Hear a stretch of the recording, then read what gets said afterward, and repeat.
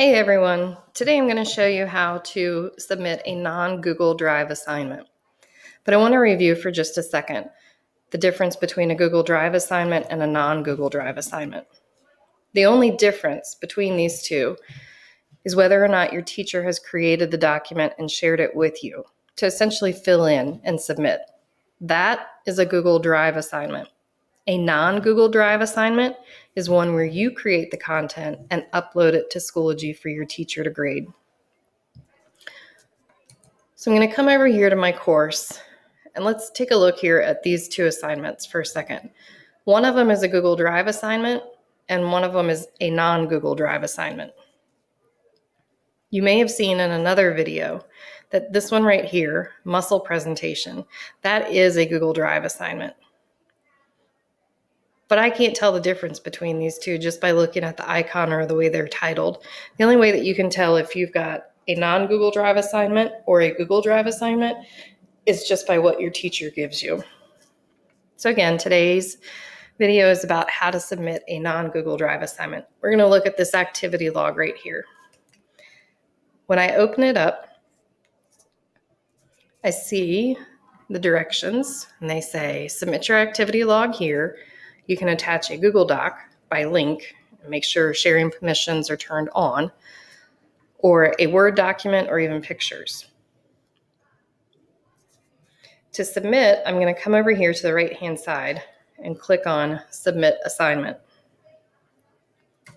A common mistake, though, that students make is by adding their assignment right there in the comment field. And this is just kind of natural coming from Google Classroom. We looked at what was underneath of the assignment, and that's where we posted the things that we needed to turn in. But with Schoology, we've got to stop for a second and think about what we're doing and read what's on the screen. So I'm going to come over here to Submit Assignment, and I click on it. And I get three choices. I can upload, I can create, or something called resources.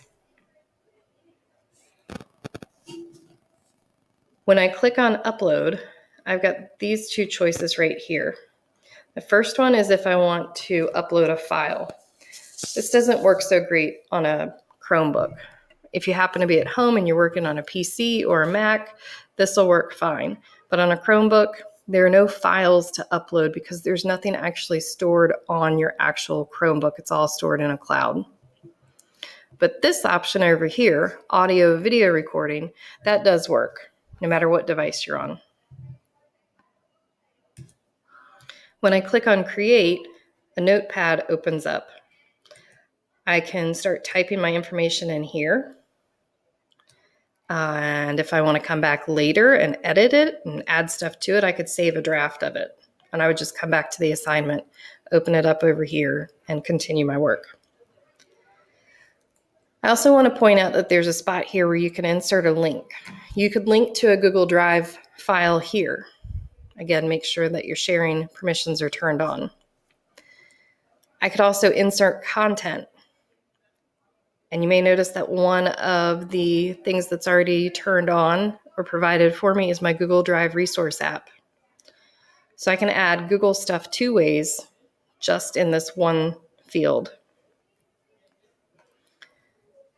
I can also come over here and click on resources. Come down here and click on apps. There's my Google Drive resource app again.